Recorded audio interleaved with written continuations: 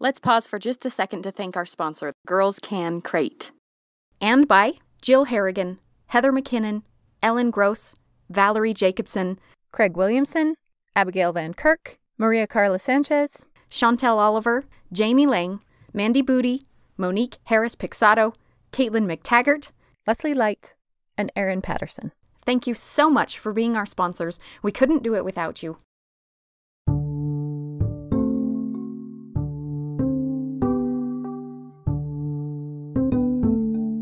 Hi, Katie. Hi, Olivia. So let's say that you want to become the most influential, most powerful person in your country. I definitely don't. Uh, yes, but let's say you did. Okay. How would you go about that? What do you do? Um, I'd become a mega celebrity. Hmm. Uh, the most influency of influencers. So, what if you were 300 years ago Okay. 1700s. in Afghanistan? In Afghanistan. Uh, I, What's your plan? my plan is, ooh, have a kind of religious vision. Hmm. Some incredible supernatural skills. Hmm. How do you how do you gain those skills? Oh, I just have them. God gives Oh. them to me, you know, because I had a religious vision. I see. Mhm. Well, I am sorry to tell you that that's not going to cut it in Oh. 18th century Afghanistan. What my religious vision isn't going to cut it? You you don't just get to have Oh, religious visions. oh, There's a process here. okay. There is a strictly laid out, extraordinarily systematized plan. Oh, wait, are we really talking about a religious visionary? We are literally talking about a oh, religious visionary. I nailed it. I'm so proud. I mean, I know very little about 18th century Afghanistan, so I was really, that was genuinely a stab in the dark. Now I feel like validated. Well, it was a good instinct. Thank you. I'm Olivia Meikle, And I'm Katie Nelson. and this is What's Her Name? Fascinating women you've never heard of.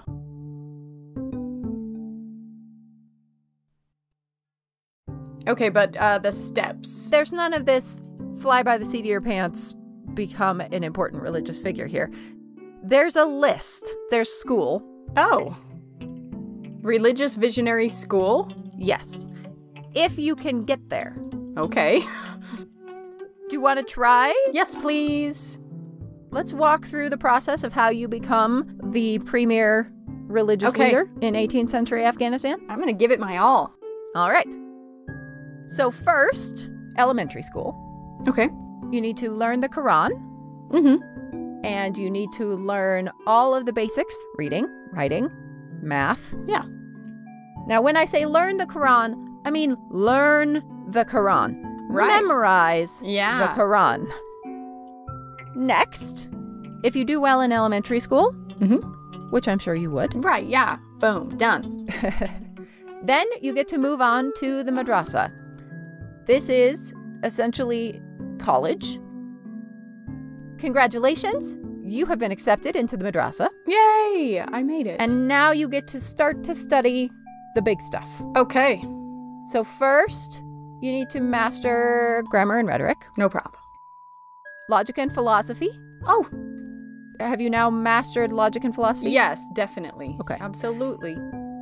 Next, mathematics. Got it. No problem. The Arabic world is doing extremely advanced mathematics 500 years before Europe is. So Mhm. this will be some pretty rigorous math that you are expected to master here. Okay. Next, medicine. Mm. Mhm. Just master all of medicine. okay. no problem. Scripture. So you have presumably memorized the Quran, but now you need to know how to interpret and understand the Quran. Okay. Cosmology, Oh, okay. ethics, All right. Cool. chemistry, Hmm. Okay. music, Yeah. politics, Okay. Got all that? Yes. You've, you've now mastered all of these things? Yep. I mean, it's taken right. me some time, but I got it. Well, congratulations. Thank you. You have now mastered the external knowledge, which means you are now qualified to begin to be taught in the oh. internal knowledge Oh. of the Sufi Center.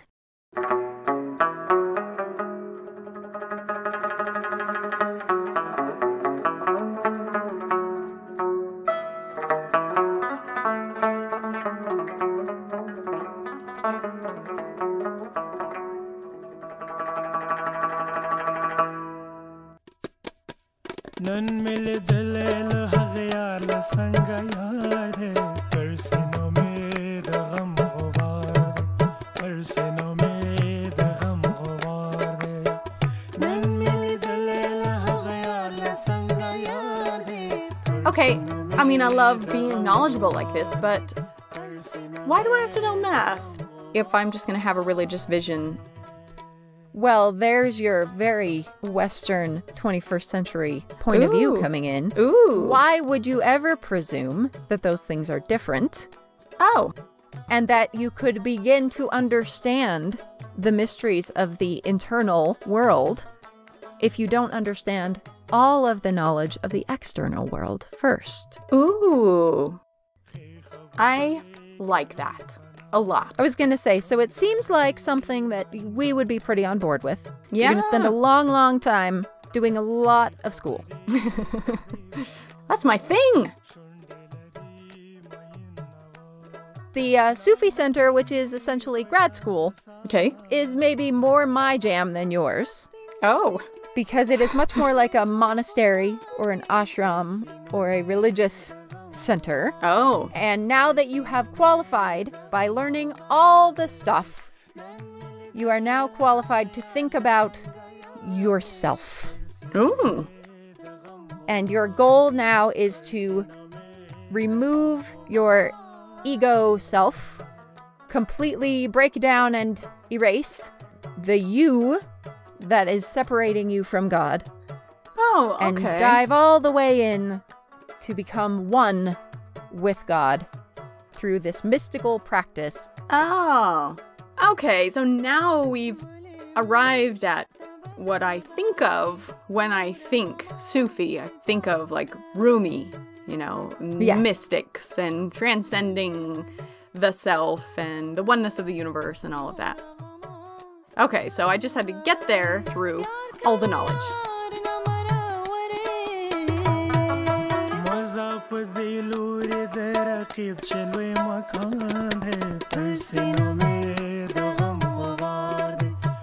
Now, the good news is I have two pieces of good news. First piece of good news is education and this process is the main focus of your entire society. Huh. All of the resources of the entire community are going to be poured in to make sure you succeed. Okay. The other, and equally surprising to us now, good news is this you're allowed to do this. You, a girl, are allowed and even oh. encouraged to pursue this path. Yay! There is no gender barrier at all to you pursuing the path of a Sufi mystic. all the way through, like from the very all beginning. All the way through. Same education, same everything. Completely equal. Wow. I love that. The big problem with the way we've talked about this whole thing, we have placed the goal as importance and prominence and Mm. social power and standing, Mm-hmm. and that is the opposite of what anyone actually pursuing this process would have been motivated by. Right. If they're headed toward enlightenment, the goal is enlightenment, not Right. power. The way to become the most important and influential person is to not want to be that at all. Oh, to live in a culture like that again.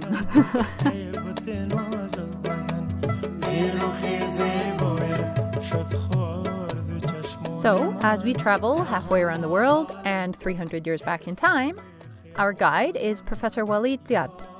I'm Waleed Ziad. I am an assistant professor in religious studies at the University of North Carolina at Chapel Hill. Although I am a historian by trade, I am also thrilled to announce that all of the music for this episode was created especially for us by two absolutely incredible musicians, Zeb Bangash and Shamali Afghan. I'm so honored to share these songs, which were recorded for us in November in Lahore, Pakistan.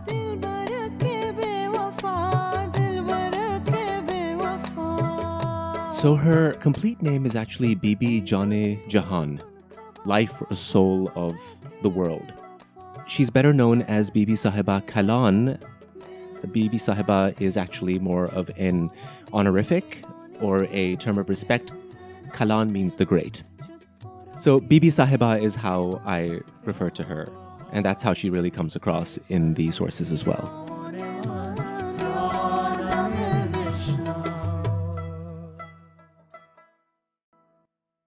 Bibi Sahiba was born in 1752 and herself hailed from a scholarly saintly family of Central Asian origin. They were Sayyids, which means they were descendants of the Prophet.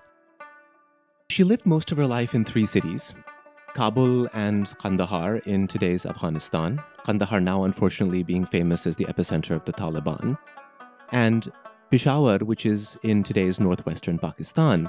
But her life story unfolds throughout what is today Pakistan, Afghanistan, Uzbekistan, and India. So I'll begin with her Sufi guide, whose name was Khwaja Safiullah.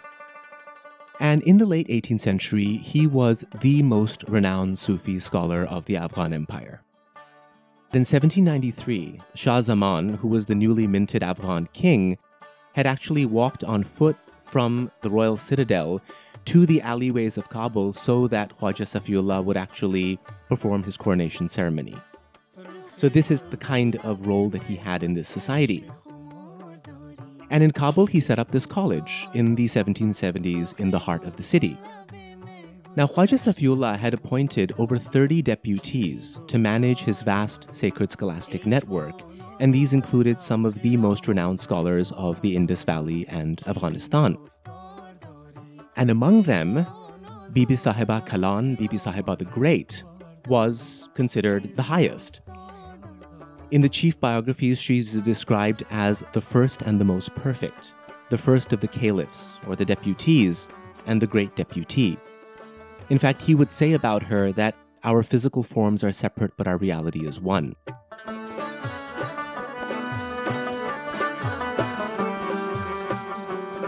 So, how did I discover Bibi Sahiba? So, I was not expecting to run into Bibi Sahiba it just kind of happened. I actually study mystical scholarly networks across Central and South Asia, especially in the 18th and 20th century, and it's a tremendous amount of fun. The research has taken me to about 120 towns, villages, tribal areas across Afghanistan, Pakistan, and Uzbekistan. Why I feel really lucky is I've had the chance to actually live with Sufi communities, participate in rituals, see the practical role they play in the societies uh, which they inhabit, and have even experienced the ways in which they have pushed back, quite successfully, mind you, against the rise of extremism in the last two decades. So, amidst all of these travels, this was an entirely chance encounter. I had read part of this book, written in Kabul about 200 years ago, within which I found a little brief, vague reference to this great female scholar of Afghanistan. In this excerpt, she was referred to as the foremost and most perfect inheritor of the preeminent religious lineage in the region's history. So I was obviously quite intrigued, but I thought the trail would stop right there. It was really not going to be more than a footnote in my work. yes, right? How often have we heard that on this podcast? Bibi Sahiba is about to take over his life. Once I got hold of the book, it's clear it contained one of the most complete biographical accounts of a Muslim woman scholar saint in the pre modern period. Even more fortunate, it was composed by her son, who himself was one of the greatest poet saints of his time, and he wrote it only 15 years after his mother's death. He was able to give us intimate details of his mother's career and her spiritual unveilings, even capturing these very personal, emotional states at transitional moments in her life. He was not only her cherished son, her travel companion, and her confidant, but also her disciple. And even though this is very much a, a hagiography, you know, this is a, a saint's life, Mm-hmm. it's real and personal in a way that's really unusual in any sort of hagiography that I have ever read.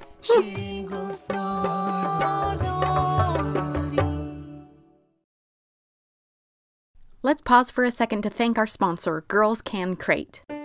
It really is the perfect time to start a subscription to Girls Can Crate. Every month, they'll deliver a brand new real life shero to your front door, introducing kids to a fascinating woman who changed the world, complete with a gorgeous 28 page activity book, all the materials for two to three STEAM activities like experiments, art projects, and more. Girls Can Crate is a lifesaver for anyone trying to homeschool, hybrid school, or just entertain their kids, and it's a wonderful educational surprise for any kid from ages 5 to 10. For busy families, they have digital subscriptions and mini crates too.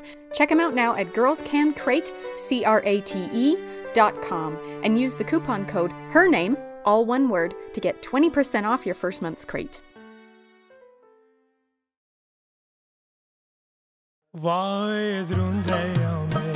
பகாடே Moda சங்கிந்த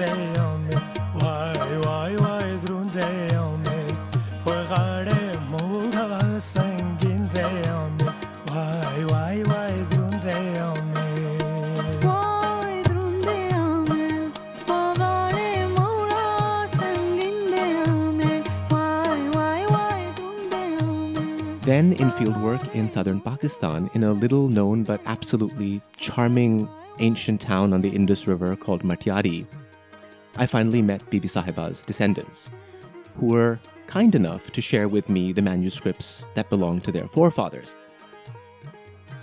And then after that, material kept pouring in. It was absolutely fantastic. I was able to collect oral histories in five towns in southern Pakistan and several towns in Afghanistan where her descendants and her followers had settled, and this helped fill in a lot of the biographical gaps. The background really requires us to unwind what we assume about Afghanistan, Pakistan, and I guess all of the other stans.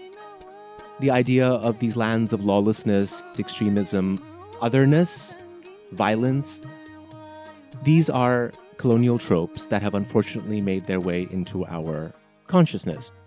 And unfortunately, they even define the way in which people of these regions talk about themselves, think about themselves, and their own history. So, to tell her story really is a step towards unwinding a lot of these misconceptions. We're actually talking about a cosmopolitan crossroads of civilization. So, the height of her career was in the late 18th and early 19th century, and this was at a time when the four great Muslim empires were fragmenting. The Ottomans out in the Middle East, the Mughals in South Asia, the Safavids in Persia, the Uzbeks in Central Asia. But it was not a time of backwardness or decline. In place of a lot of these old kingdoms, a new Afghan empire had set itself up, based in these very three cities to which Bibi Sahiba belonged. And these are ancient cities. Even before Islam, they housed some of the most important centers of learning for Buddhism. Kabul and Peshawar became the twin capitals of the great Afghan Empire the very same year that the United States became independent.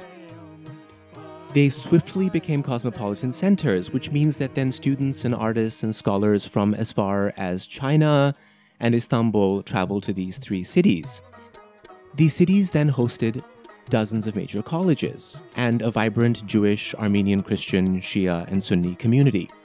So Bibi Sahiba was at the center of this renaissance. Her world is a wildly diverse, ethnically, religiously, nationally, incredibly vibrant and mixed up kind of society. And not at all pot. the way that we think of this. Yeah, it, it is a huge melting pot of everyone. Yeah. This was also a golden age of Sufism, which is the mystical dimension of Islam. And this is a really important facet of our story.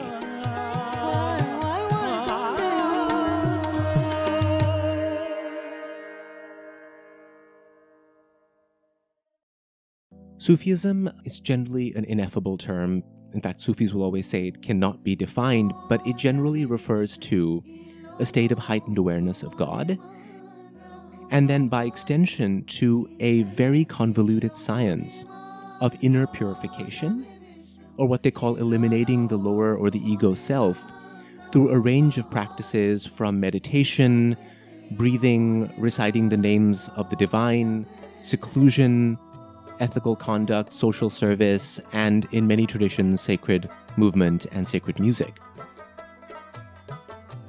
While the goal and the product is this metaphysical, transcendent state, the process for getting there is extremely formalized Hmm. and has very specific and well laid out practices that get you there. Interesting. So, the most important point is that in the world in which Bibi Sahiba grew up, Sufism was an integral part of Orthodox Islam. It was not on the margins, it was a companion to Islamic law. So, law regulates your outer life and Sufism guides your inner life. Which means in her world, you could not be a religious scholar unless you were a practicing mystic, and you could not be a mystic unless you were a religious scholar. So, in this way, she's very much a product of her time. So, Bibi Sahiba had memorized the Quran by the time she was 11. Oh my gosh. She was a superstar standout student from the very beginning. She studied Islamic law, theology, Greco Arabic medicine, and before the age of 11, which is quite early by any standard, she even began her training in mysticism and metaphysics. As we said, there is no barrier to entry here at all. Women are absolutely allowed and encouraged to pursue this path all the way to the end. But this is also a time with incredibly strict gender segregation. Mm-hmm. Men and women do not exist in the same spaces. Her first teacher, until she was 12, was Peshawar's greatest scholar saint. So we can imagine that all sorts of intellectuals and mystics would have gathered at his college. In fact, the college became so popular with female students that people started to complain lest there be any inappropriate mixing. The hagiographies tell us a rather funny story that an older, very conservative college, which was based outside of Peshawar, sent a messenger over who complained about this, that there are simply too many women at your college. The story goes that Bibi Sahiba's teacher told him to hold a piece of cotton in his hand. And then he brought up a flame to the piece of cotton, and it didn't burn. So the point of the story was to illustrate that, buddy, I've got the capacity to prevent inappropriate mixing, mind your own business. And that's where we have the rise of this remarkable institution, the Haram Sarai. In addition to this, there's another institution that's very important at this time. And this is illuminated quite uniquely by my study. In fact, it really has not been written about very much before. It's called the Haram Sarai. And this is a space of spiritual training presided over by women, which existed in parallel to the male dominated institutions of the Sufi center, the madrasa, and the mosque. And it's essential to the diffusion of the Sufi path. It attracts scores of women disciples and then provides social services and even what we can today call mental health services to women and men, because a large part of their pedagogy was actually about mental health. Bibi Sahiba administers the Haram Sarai. She presides over the assemblies and she delivers lectures there. And the biographies actually provide some documentary evidence of its layout and its functionality. What happened there? So the Haram Sarai have their own entrances and exits, their own spaces. Their own storehouses, their own financing. They're completely independent mm. of the male space within the madrasa or whatever space this is functioning in. But they are absolutely equal. It is not a matter of the women are teaching the women and the men are teaching the men. Bibi Sahiba is teaching everyone from the Haram Sarai. How is she physically doing that if she if they're separate? This is a very good question. One which Waleed Ziad is still trying to figure out. Huh. Men would stand probably on a porch, I'm guessing, to this is where it's unclear, to receive training and lectures from Bibi Sahiba. There may have been a lattice or a curtain in between to maintain strict gender segregation. And we can get a sense of how this would work by looking at examples in the Mughal court, where you have women who are governing provinces, but it's all done from a space of gender segregation.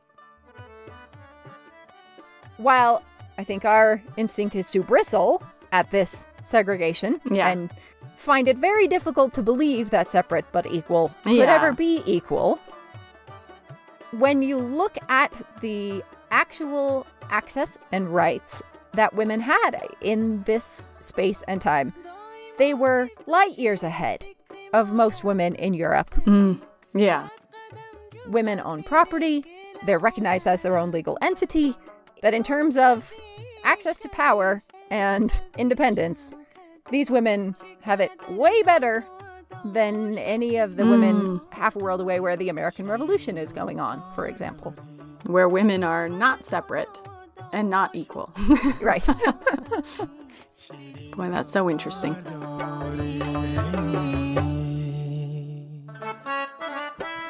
The interlocutors between the Haram Sarai and the khaniqah, the madrasa and the mosque, so between the female and the male spaces, were often Bibi Sahiba's sons or male relatives. They were constantly looking for creative solutions to this particular issue of segregation. One of the rather unusual uh, and rather ingenious systems was one of milk relatives.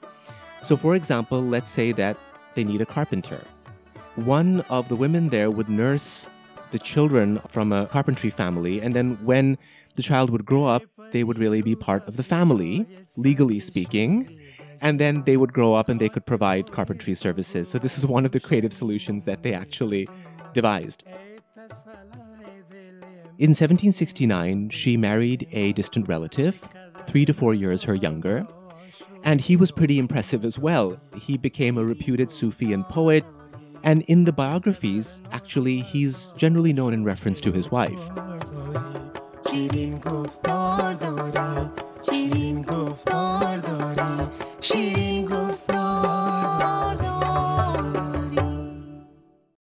Now, in the 1770s, Bibi Sahiba arrives in Kabul and Kandahar. By this time, she is already a promising young scholar in her 20s. Husband and wife are both quite busy, they often live apart. Her husband's often on the road. She's managing two Sufi colleges in Kabul and Kandahar, and then at the same time pursuing her own training. So they were a power couple. Um, her husband attracted a sizable following at Kandahar. Over the next two decades, Bibi Sahiba educates several hundred, and in fact, I should say several thousand scholars and Sufis.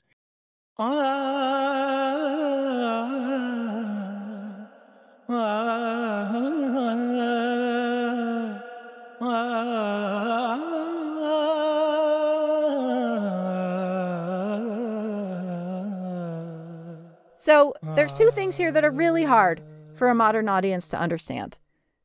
There are several parts of her life that are actually really difficult to understand, regardless of where you live. For those who simply are not familiar with meditative practices in Islam, or let's say similar ones in the Tantric tradition, understanding her life mission and her internal achievements, and even the core of what she was teaching, is near to impossible. The Sufi scholars led really rigorous lives. They trained themselves to literally sleep no more than four hours a day. And if you look at the daily routine of, say, her teacher, which has been spelt out in detail, it simply doesn't make sense by today's standards. And so we can't understand what to her would have been her most important achievements. because we can't even begin to understand Hmm. What her goals were. And of course, another point which is difficult to grasp for modern audiences is how she was able to do what she did under the strict rules of gender segregation. At another level, for most people, as you said, it's an entirely unexpected story, and especially for the place and time in which she lived. So, on one hand, her story reveals this entirely ignored, this very vibrant social and cultural scene of Afghanistan and Pakistan's chief cities, which have been really treated by people here, there, wherever, as civilizational backwaters due to recent years of conflict and, of course, systematic media misrepresentations. But the most surprising thing for us here is that Bibi Sahiba was not unique. In fact, she wasn't even unusual. She was one of many women scholars and religious leaders in the pre modern Muslim world. These days, especially, all the discourse on Afghanistan is dominated by Taliban, the idea of oppression. So the story comes to many as a surprise, and to many in the area as a surprise. We want this story to be revolutionary, to find this Yeah. amazing radical voice. And she wasn't that at all. Mm. So then, was she an insider? We want to think of her as an outsider here, but was she seen that way? Did she see herself that way? Outside inside is actually a really fascinating way to ask this question because those are the very terms that are used by these Sufi networks to talk about the outer knowledge and the inner knowledge and the outer world and the inner world. So I think uh, from that point of view, she would be both. But from the point of view in which you're asking this question, she clearly grew up in a world where the idea of being a woman and being a scholar and a mystic was natural. There was a space for that. And certainly for those who had the opportunity to study the outer and the inner sciences. So we can't view her from the modern lens of being a revolutionary. Uh, She doesn't appear to be that way. It doesn't appear, at least from the sources that we have, and I will say that with a big caveat that she's struggling to find her voice. Remember, the, the sources are all male sources. Rather, her struggle appears to be an internal one, the one that mystics face, battling their own demons, the ego self.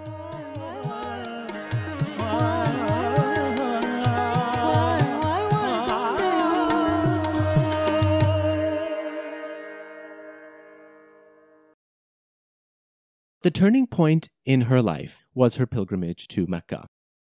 So in 1797, Bibi Sahiba joins her teacher and 315 companions, or so the oral histories tell us, for a historic voyage through Kandahar, through Balochistan, which is now really at the center point between Iran, Afghanistan, and Pakistan, and into the Indus Valley to the then very small port of Karachi, which is now over 20 million, and then from there to Yemen and beyond. She was accompanied by her daughter, whose name was Bibi Ummatullah. She was a young scholar and Sufi in her own right. In addition, Bibi Sahiba's two sons came along, the elder of whom chronicled the events of her physical and her internal spiritual journey.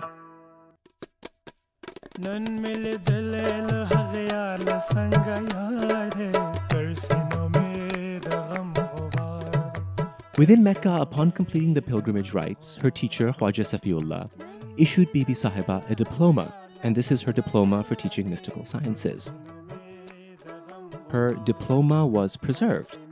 The final lines are really quite incredible, so with your permission. Abundant praise be to God. Although now the respected, aforementioned guide or teacher has no need of permission, but since it is a tradition of our predecessors that without permission, an elder or a spiritual guide cannot in this serious matter take a single step, thus in written form it is enshrined that whosoever, from all women and men, that seek the path of transcendent God, can come to her service and take the path from her, even if they have received it from this poverty stricken one. It essentially turns all of his thousands of disciples, the entire Sufi community, over to her. No way. Wow. This is not women, Mm. you may take the path from her. everyone may take the path from her. Mm, wow. She is, in Waleed Ziad's words, she is the arch saint Ah, of the Afghan Empire.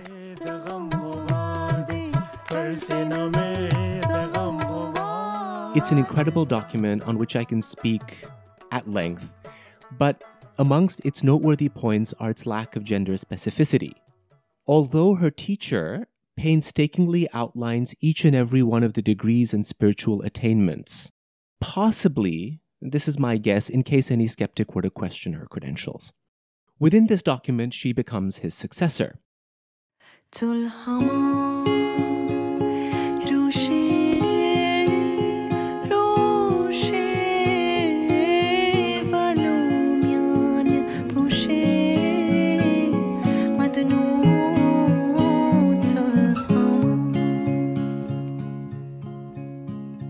Now, very soon after, however, on the return journey, when they reach Yemen, her teacher unexpectedly passed away.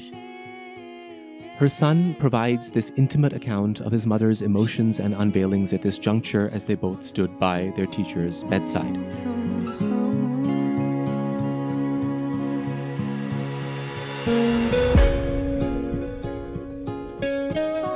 Bibi Sahiba commissioned her teacher's shrine in Yemen and then led the whole caravan back for a second pilgrimage to Mecca and Medina, during which, as related by her son, she reaches her spiritual heights. And she has a sequence of mystical visions before she reaches spiritual sobriety again.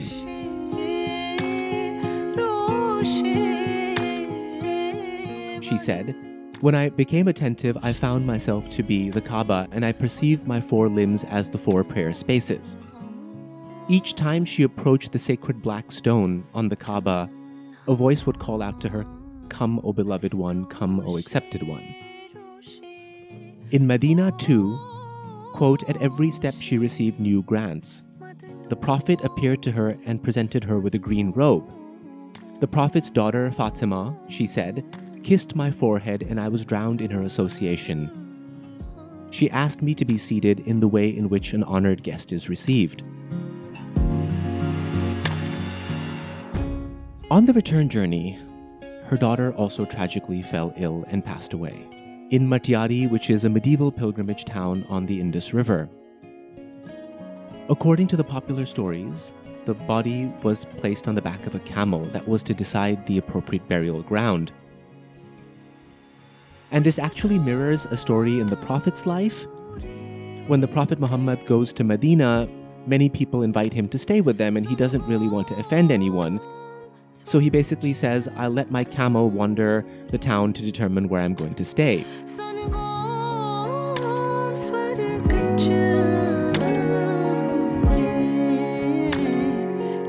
In this case, Bibi Sahiba's camel stopped in the lands of a noble family who were also descendants of the Prophet Muhammad and originally from western Afghanistan, and whose descendants are now very dear friends of mine and who I generally stay with while I am doing my fieldwork there.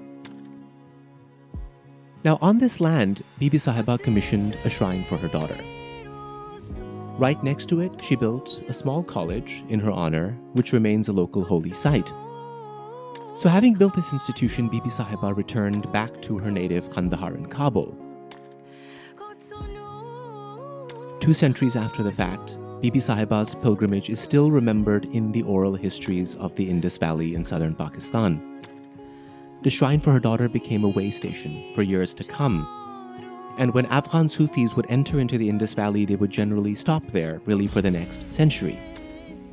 So, in effect, her pilgrimage, the building of the shrine in the Indus Valley, and the building of the shrine in Yemen tied together this whole sacred geography of Afghanistan, the Indus, and Arabia.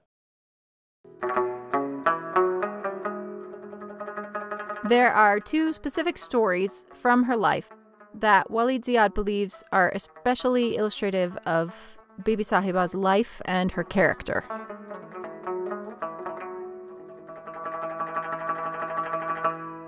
So, in the 1780s, her teacher, Khwaja Safiullah, experiences a spiritual and psychological crisis. He's in turmoil. And this is really a natural part of the spiritual journey. They go through a period of turmoil. We are told that he would perform his prayers at his mosque and his college, then immediately withdraw. He would return to his place of seclusion that was actually located within the Haram Sarai. Now, in his seclusion corner, Khwaja Safiullah would lament and spend countless hours in his tortured supplications. Now, he happened to possess a sizable library of books and sacred relics. He was in a state where all of these worldly possessions had lost meaning. So he ordered that the collection be immediately donated to the poor. So Bibi Sahiba stepped in, and she reminded her Sufi guide that there was a better way to handle this. She insisted that they sell the items and then distribute the money to the poor. After all, the poor need money, they need clothes, they don't need books. A fair value then was determined, but Bibi Sahiba herself purchased the items and then took them and secured them within a room in the Haram Sarai. The needy of Kabul were then summoned to the Haram Sarai, and she personally distributed her own possessions, which were roughly equivalent to the value of the books. Thus, she preserved the priceless library.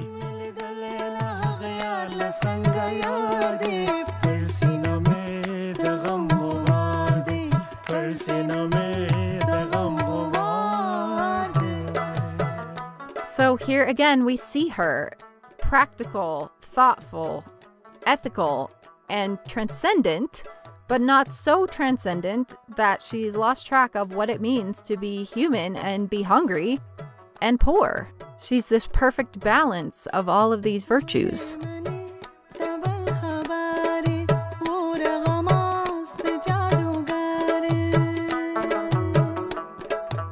Biographical dictionaries also relate another story concerning a caravan that arrives at Kandahar. And that's led by a great Sufi poet who is of Baloch ethnicity. And his name was Ahmad Khan Nizamani. Bibi Sahiba received a mystical intuition that Nizamani was about to arrive. So she dispatched her son, who was very young at that age, maybe 9 or 10, to receive the guest and then request a prayer from him. Her young son went outside, he greeted Nizamani, but he was confused, he was disturbed. Because Nizamani had a dark complexion and an appearance that he simply wasn't used to seeing in his native Kandahar. So he was a bit worried and he went back to his mother quite ashamed and admitted to her that on account of his different appearance, he didn't ask for his prayers. Bibi Sahiba became rather upset, and she said to him, quote, Do not consider his physical appearance as his heart is as luminous as the full moon. When I approach, in spiritual terms, the court of the Prophet Muhammad, peace be upon him, I see Nizamani seated at his feet. We are not rendered this honor. Zing. So she is doing this anti racist, anti xenophobic work Mm-hmm. within her own family, but within the community, as all of these people are pouring in from around the world Mm. and creating a place that values those differences and respects all of these incoming minds instead of shutting down, as many communities do when sudden influx of refugees or immigrants appear. And she is so effective at doing that that the reason we know this story is because her son told us the story. So it was so influential in his life that he remembered it, but also she did this so effectively that he is willing to make himself look bad Oh. and Mm. tell the story of the time he was wrong Yeah. to pass on that knowledge. That's remarkable. That that is a Mm. remarkable teacher who can teach lessons that important without so humiliating the learner that they refuse to ever talk about it again. right? Yeah.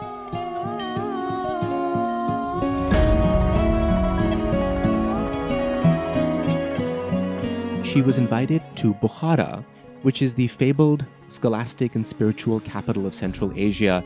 It's now a fantastically preserved, absolutely phenomenal ancient town in Uzbekistan. And the invitation came from none other than the king himself, who was not only a follower of Sufis, but actually a licensed Sufi guide.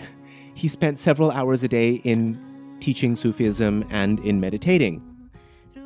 In fact, several people at the time complained that he spends too much time doing that and less doing doing what a king is generally supposed to do.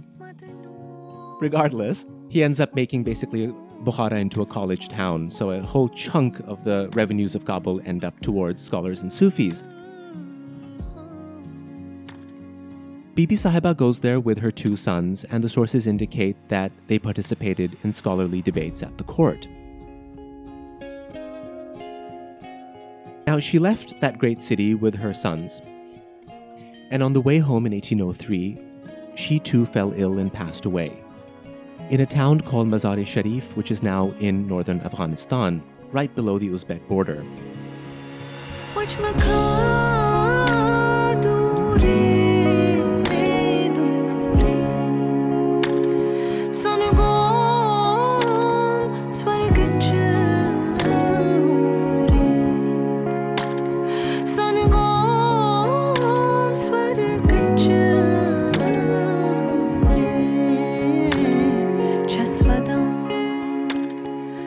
Mazar-e Sharif actually means the noble shrine, and it is the spiritual epicenter of Central Asia. And it is built around the legendary shrine associated with Imam Ali, who is the first Imam and the son in law of the Prophet.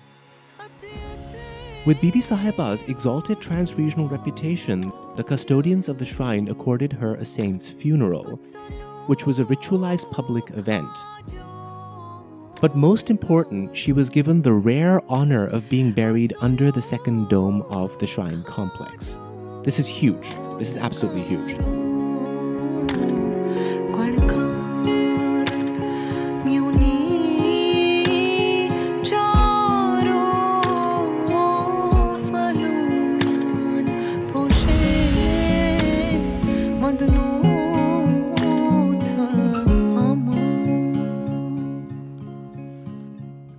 One of the questions we often ask in this podcast is what did this person achieve?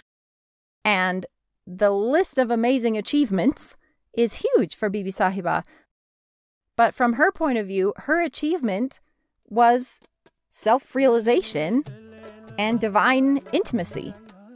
She achieved oneness with God. And everything else is just a byproduct of that none of the rest of it matters at all. On her own terms, she was a religious scholar and a Sufi first and foremost. So her achievement, really in the, the big scheme of things, was really self realization. It was divine intimacy.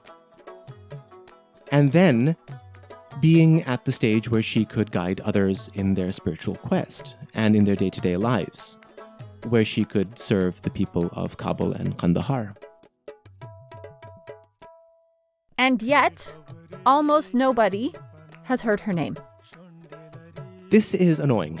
Um, she has no doubt been honored by her followers and her descendants, but entirely ignored by the populations and by the secular populations which inhabit the region in which she lived. It's really surprising where and how she is revered. There's a book that was recently published, I think about 15 years ago, in the most unlikely of places. It's a book in Persian. And it was published in the Khyber Agency, which is right on the border between Afghanistan and Pakistan, considered, according to New York Times and all of the other media outlets, as the most dangerous place in the world. The religious leaders there trace their lineage back to her and her teacher, they also happen to be the fountainhead of one of the most widespread religious networks in the region. This is one of the sub networks that come out of her lineage. And for years, they were in the front lines on the battle against the Taliban. So, in this book, there's a chart, and the chart shows these four great spiritual lineages. And right in the center is a circle with Bibi Sahiba's name on it at the juncture of these lineages. And this is coming from a deeply conservative place and a place which is really the last place you'd expect this kind of thing to come out from. And for this reason, I think the story's got so much potential because the most conservative elements of society in this region can actually very gladly accept her as a saint. And it's an area where I think the two worlds can actually combine quite well if it's mobilized in the right way.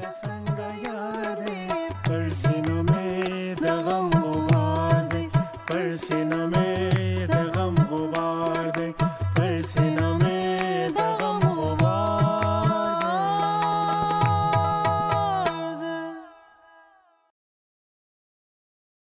this podcast is about discovering women who were never acknowledged, you know, reclaiming the female power and authority of these women who were sidelined.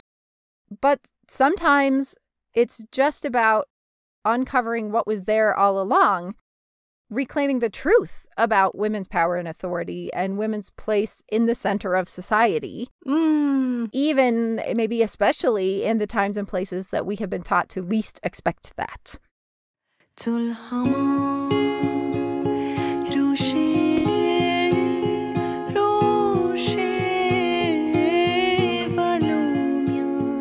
From vague memories of my family's past, larger than life, highly charismatic women who were public figures, poets, and revolutionaries, it seemed as I was growing up with that ideal in mind and with that past in mind that contemporary discourses on Muslim women or Afghan women were just so bloody irritating. They just don't allow for this. Yet, so many larger than life women show up in Afghan history. Like the queens of Bhopal, who are three generations who rule over one of the richest states in South Asia, who are bossing around the people who are controlling Mecca and Medina. The sister of the greatest Mughal emperor, Akbar, one of the greatest emperors of all time, was the governor of Kabul. And she was sent there originally to quell a rebellion. So, I mean, I mean who are we kidding? Kabul already is being governed by a woman in its heydays. In many ways, I feel that for me, Bibi Sahiba brings a world to life that is part and parcel of who I am.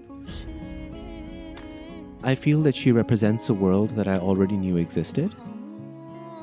The great women under whose shadows my ancestors lived.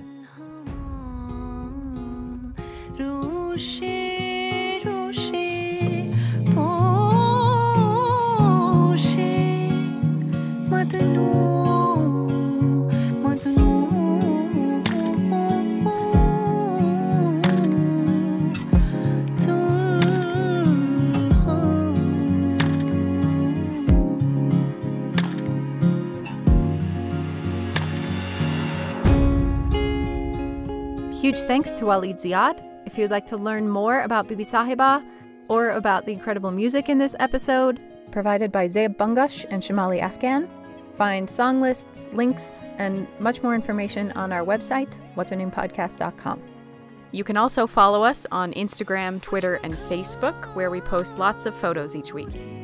If you've enjoyed this episode, we'd be so grateful if you'd leave us a review on Apple Podcasts or wherever you listen. It makes a huge difference in helping new listeners find us. Our theme song was composed and performed by Daniel Foster Smith. What's Her Name is produced by Olivia Meikle and Katie Nelson, and this episode was edited by Olivia Meikle.